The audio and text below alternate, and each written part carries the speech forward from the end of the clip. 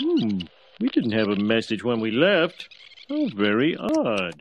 早上好，中国！现在我有冰淇淋，我很喜欢冰淇淋，但是速度与激情就比冰淇 it's Lisa at Camp Granada?